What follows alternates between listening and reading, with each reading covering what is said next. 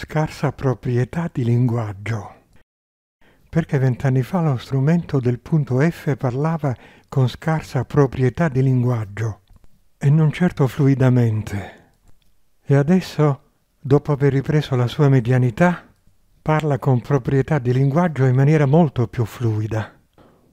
Commento.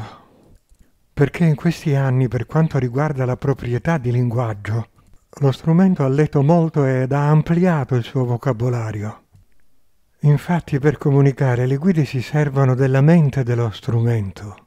Per quanto riguarda invece la fluidità del linguaggio, le guide in questo tempo hanno lavorato soprattutto durante il sonno sulla ricettività dello strumento.